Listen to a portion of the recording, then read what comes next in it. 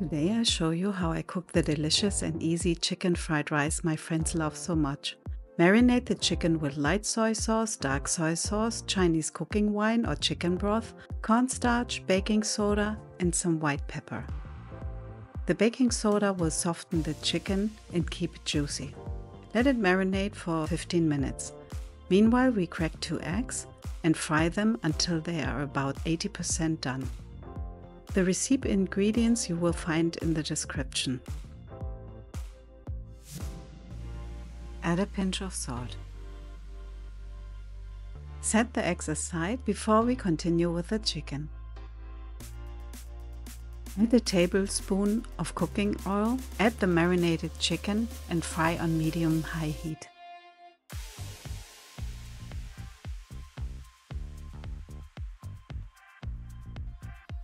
When the chicken is about 80% done, we will set it aside. With another tablespoon of cooking oil, we will add white onions, garlic, spring onions, and some carrots.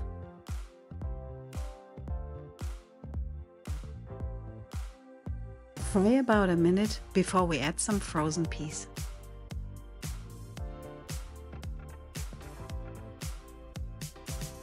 Set it aside before we continue with frying the rice.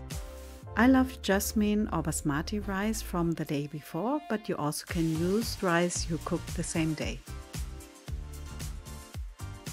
When the rice has taken some color, we will add the sauce, a mix of light soy sauce, dark soy sauce, and toasted sesame oil. The toasted sesame oil is absolutely my favorite secret ingredient to make it flavorful with smoky nutty aroma. Now we add back the chicken and the vegetables, mix it and also add the eggs.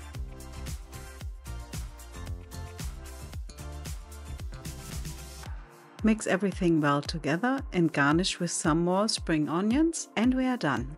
I hope you liked the video and enjoy the meal. See you soon.